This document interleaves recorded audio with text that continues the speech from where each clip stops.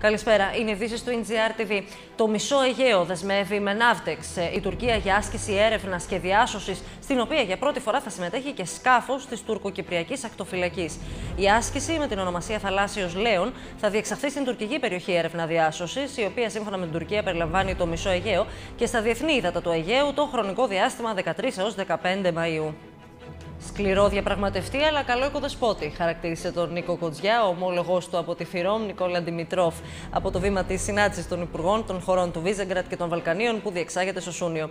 Στην ομιλία του, ο κ. Δημητρόφ τόνισε πως η πρόκληση για τα υποψήφια προς ένταξη κράτη είναι το πώς θα γίνουν Ευρωπαίοι και το πώς θα πείσουν την Ευρωπαϊκή Ένωση ότι είναι αντάξια να αποτελούν τμήμα της διευρυμένης Ευρώπης.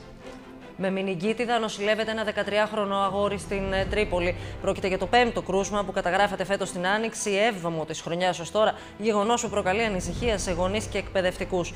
Οι ειδικοί επισημαίνουν ότι ο μοναδικός τρόπος για την πρόληψη της μηνυγκίτιδας αποτελεί ο έγκαιρος εμβολιασμός βρεφών, υπείων και εφήβων και συνιστούν πολύ μεγάλη προσοχή, καθώς η μηνυγκίτιδα θεωρείται μια ύπουλη και επικίνδυνη νόσος που εκδηλώνεται με συμπτώματα που προσωμιάζουν αυτά της εποχικής γρήπης.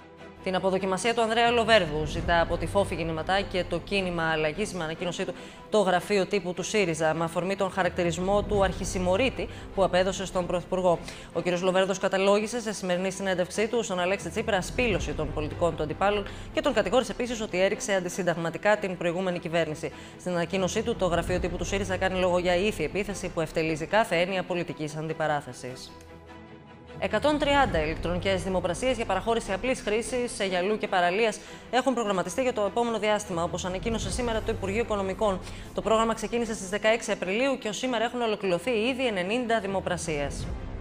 Συγκεντρώσεις για μαρτυρία πραγματοποίησαν έξω από το Υπουργείο Εργασίας και την Βουλή ε, σήμερα γυναίκες ε, χείρες για την συμπλήρωση δύο ετών από την ψήφιση του νόμου Κατρούγκαλου. Σε συνάντησή τους με τον Υφυπουργό Εργασίας Τάσο Πετρόπουλο, οι διαδηλώτριες παρέθεσαν τα αιτήματά τους σχετικά με τις νέες συντάξεις χειρίας, αλλά ο Υφυπουργός τους ενημέρωσε ότι ο νόμος Κατρούγκαλου θα ισχύσει κανονικά και πως δεν θα υπάρξει άρση των ηλικιακών κριτηρίων. Συνάντηση με τον Υπουργό Εξωτερικών του Ιράν θα έχει επικεφαλής της Ευρωπαϊκής Διπλωματίας Φεντερίκα Μογκερίνη μαζί με τους Υπουργούς Εξωτερικών της Γαλλίας, της Γερμανίας και του Ηνωμένου Βασιλείου. Οι συναντήσεις διεξάγονται μία εβδομάδα μετά την απόφαση του Ντόναλτ Τραμπ να εγκαταλείψει την πυρηνική συμφωνία με το Ιράν.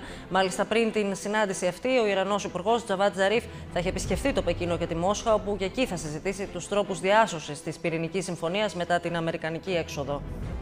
Ακόμη ένα επεισόδιο στο σύριαλ της πιθανής αποχώρησης του Νεϊμάρ από την Paris Saint-Germain δημοσιεύει σήμερα η εφημερίδα Le Parisien. Σύμφωνα με το ρεπορτάζ της γαλλικής εφημερίδας, ο Βραζιλιάνος επιθετικός αποκάλυψε πως αν η εθνική Βραζιλίας κερδίσει το Μουντιάλ, δεν σκοπεύει να επιστρέψει στο Παρίσι. Η πηγή του ρεπορτάζ επιβεβαίωσε μάλιστα την επιθυμία του Νεϊμάρ να πάει στη Ρεάλ Μαδρίτη. Αυτές ήταν οι βασικές ειδήσεις ως αυτήν την ώρα. Αναλυτική ενημέρωση στο NGR.